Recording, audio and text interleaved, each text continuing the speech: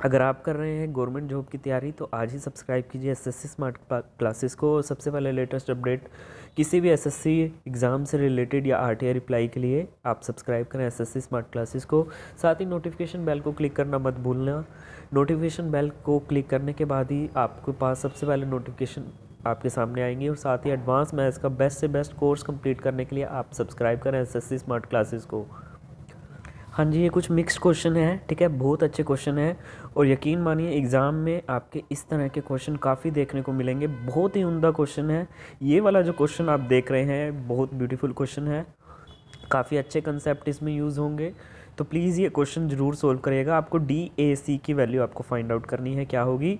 ठीक है एंगल आपको फाइंड आउट करना है डिग्री में। बहुत अच्छा क्वेश्चन है। आप ज़रूर अटैम्प्ट करिएगा इस क्वेश्चन को। आ, एक बार देखिएगा।